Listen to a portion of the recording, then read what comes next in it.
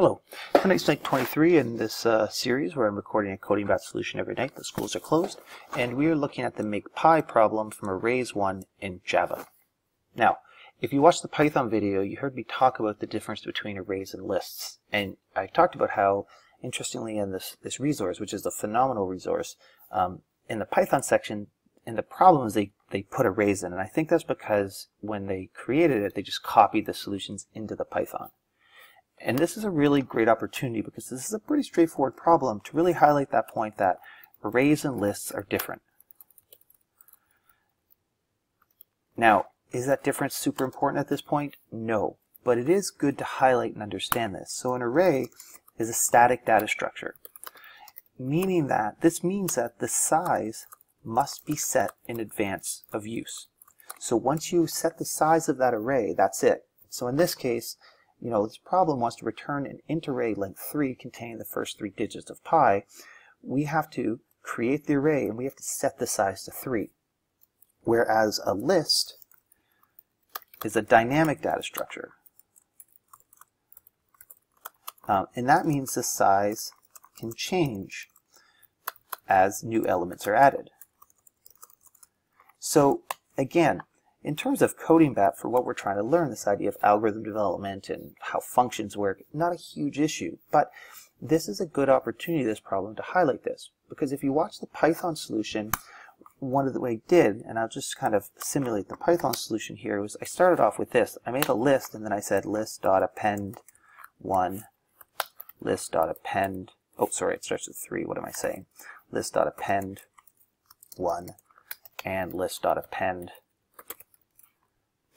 4, and then I returned list. Now, this would work in Python perfectly fine.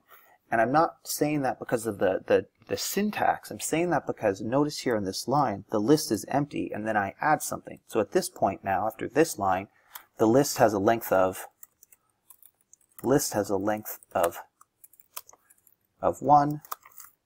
Here, this line, list has a length, list length 2, list length 3. So notice as I append new elements on, the list size changes. You can't do that in Java. Java, when you're using an array, or sorry, more appropriately, is you can't do that with arrays. So what we have to do is we have to actually create a new array. And so to do that, we're going to say state the type, int, we're going to call this ARR, and I can do this one of two ways. One way is I can predefine the elements in the array right when I construct it. And to do that, I just simply do this, 3, comma 1, comma 4, and I close the brace. So essentially now I create this new array 314 and I return AR. No problem. This is one way to do this. Let's comment this out. The second way to do it is similar to the second way in the Python solution, is I create the array, but I can't just make it empty. I have to know in advance that this is going to hold three elements. So I'm going to say new int, and I'm going to give it three elements. This says make an array of length 3. So now what I do is I can add those individual, I can set the individual elements. So I can say ARR at 0, so element 1 has an index of 0 is 3, ARR at 1, 1, ARR at 2 is 4. Remembering, length of 3, the indexes there 0, 1, 2. And then I simply return ARR. And I hit go, and there it is. So pretty straightforward problem. From a Java perspective, I think the takeaway is understanding that you can predefine an array. You know, you can put the values in at the point of initialization, or you can create it, set the length, and then add elements in.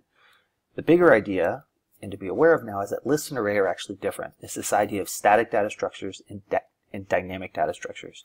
And if you're ever designing a larger project, you always want to ask yourself, do I want a data structure that can change size, or can I set the size in advance? And thinking about that really helps when choosing the right data structure.